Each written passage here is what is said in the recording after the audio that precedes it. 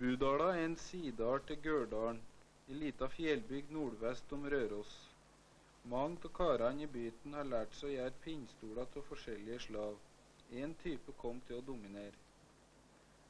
Så vanlig har det her snekkerarbeidet vært, og så spesiell var den modellen de samla seg om, at den etter siste hundreårsskifte har gått under navnet Budalstolen. Da hadde stolen blitt kjent utafor byen. Pinnstoler av forskjellig slag har vært godt kjent i vår del av verden i lang tid. Budalstolen er altså en av modellene, men han er nok ikke funnet opp i Budala. Spesielt med Budalstolen er forma på ryggen, med en bogge bøyd av to kjepper med tener og de to baktenene. De siste er i ekstra forsterkning til ryggstøet, noe som budalingene har lagt særlig vind på. Emnet til boggene kan være kjepper til i rogn eller annet som de henta ned i Gørdalen. Heggen var best å sveie, sa de. De gjorde helst ti-tolv stoler i gangen, ettersom de hadde emne til. Først la de kjeppene til boggene til bløyting ned et langt kar. Det var for at det skulle være lettere å forme boggene. Det gjør Sven Budal må bøye over i kramle eller i boggokramle, og så setter han boggene i spenn.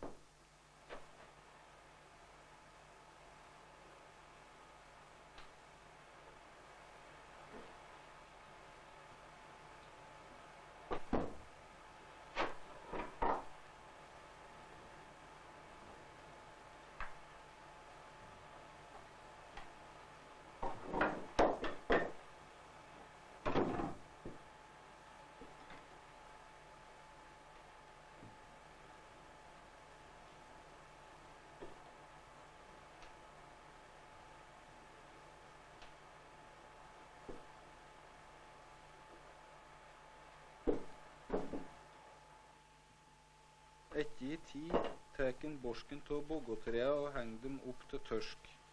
Der skal de henge i minst tre-fire dager, helst halvåret. Da holder forma seg. Sven M. Budal er født i 1899. Han gjorde først storsinn Finn ble konfirmert. I førsten av saga høvla og båra de alt for han, og dreibenken ble trødd med fot. Elektrisiteten kom i slutten av 1930-åra og gjorde alt arbeid lettere.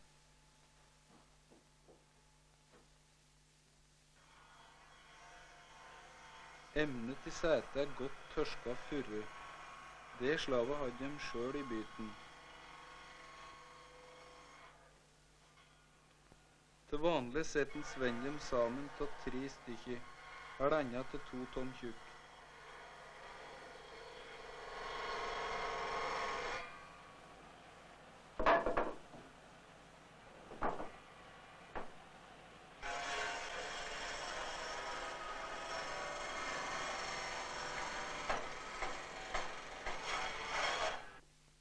Han bruker et gammelt storsete til å prøve om emnene er store nok. Generelt hadde de formet til alle delene av stolen. Det her kommer av at byten samla seg om bestemte, en kan nesten si standardiserte størrelser.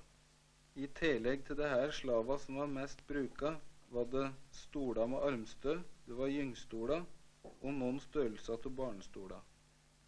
Til liminga brukte han hornlim, men i den senere tida har han bruka kalvaslim.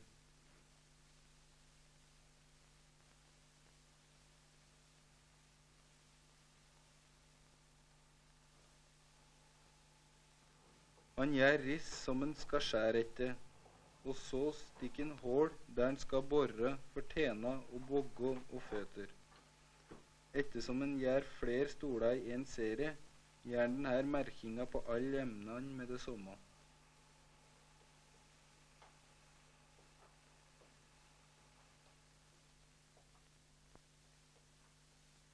Bene sida skjærer til med sirkelsav. De krumme limene bak, her kalla kringle, skjærer han til på bandsav. Før var det stikksav og rotterumpe. Håla til føttene blir båra fra nedsida, først med femkvart tom bord, så med én tom som går gjennom setet. Håla for boggene og for tenene båren ovenfra. Til håla for boggården borer med tre kvart om bord. Til tenene er det halvtoms. Alle håla skal ha en skeiv vinkel til stolsetet. Til det her gjorde de seg spesielle hjelpeverktøy til å stø opp arbeidsstykket i faste skråstillinger. Med å snu stykket får en den samme vinkelen til bå sidene. For tenene trenger en tre flyttinger. Først for baktenene, så for midttenene, og til slutt for yttertenene.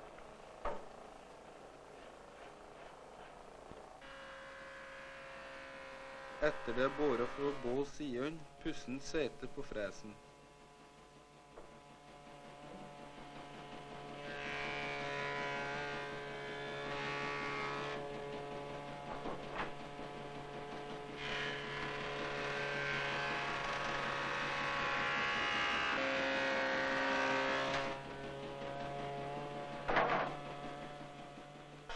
På punnsida skjærer han inn spon for rekspon. Han må skråstille arbeidsstykket to veier, så sporet får rett forma. Så må det pusses selges at reksponene kan drives godt inn.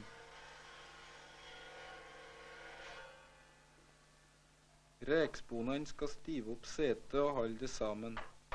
Her må en ikke bruke lim. Om en gjør det, går det galt. Setet kan sprekke om veden svelger eller kryper med forskjellig fuktighet i rommet. Med rekspon på plass er setet ferdig.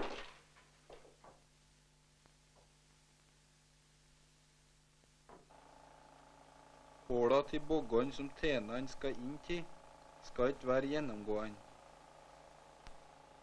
Avstand merker en tå etter håla i setet. Retningen tar en på øyemål.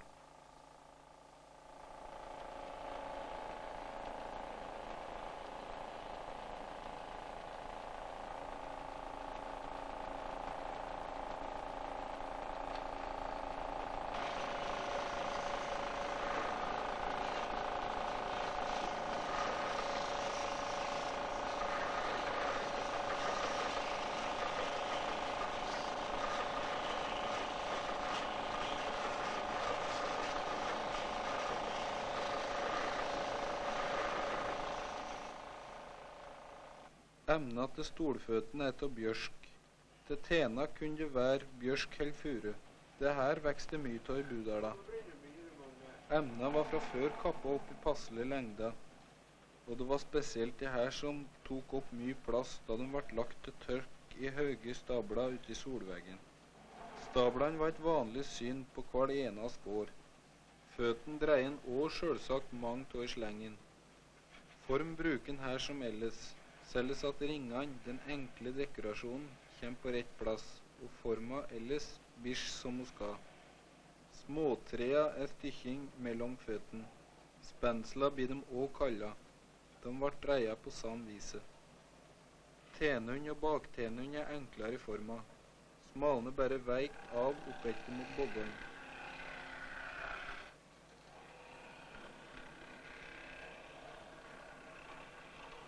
I føttene må det bores hull for småtrea.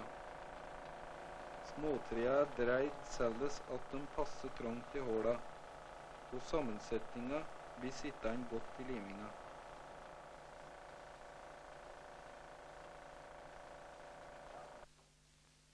På det mest kunne en mann gjøre 100 stoler på en vinter.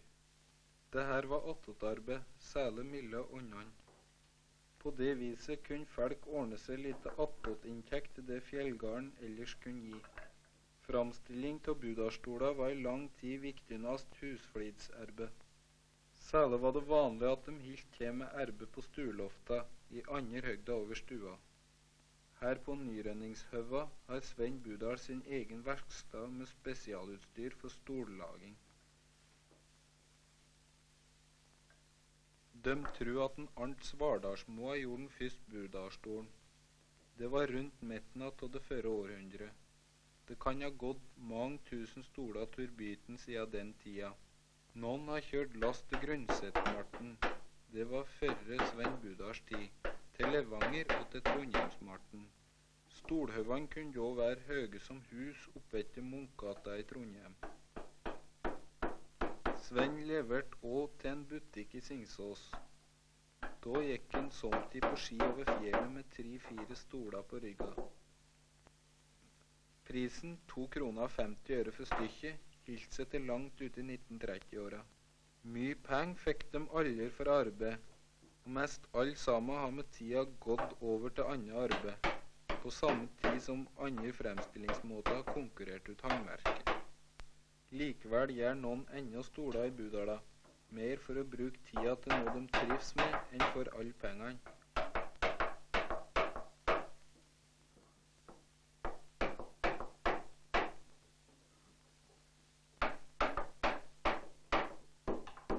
Etter at føttene er limt på setet, blir det slin i en motkile i årrette ovenfra. Kilen må stå på tvers av langveier i setet, ellers kan setet sprekke og festet gå opp.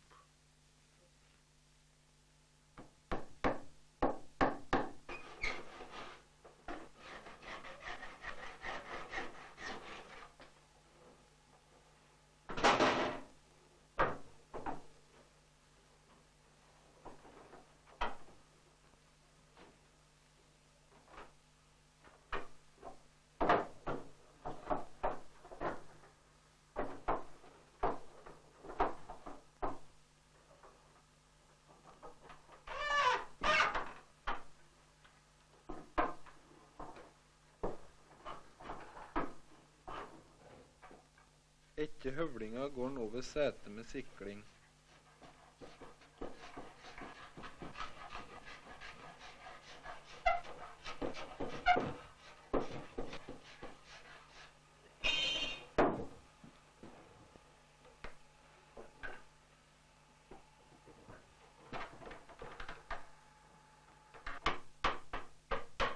Høyta på Boggon har han spesiell mal til. På malen er det merka tå høyden fra setet til øst på boggene for medstoler, armstoler, vanlig stol som den her med høgd på 43 cm, og for tre ulike høgder på barnestoler. Skråstillinga tar med det samme. Tenene er slin lenger ned enn det de skal være. Boggene må festes ekstra godt til setet.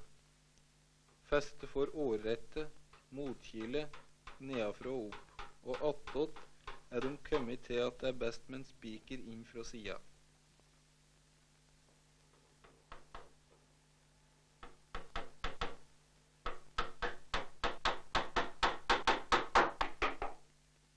Tenøyen kan nå bli drevet inn opp igjen og inn i hullet i Boggon.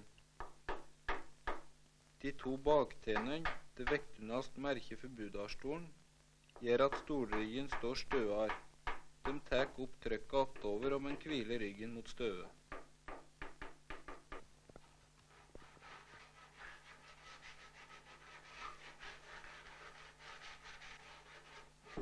Nå er alle delene på plass. Siste finpussen med sandpapiret, og nå er stolen ferdig.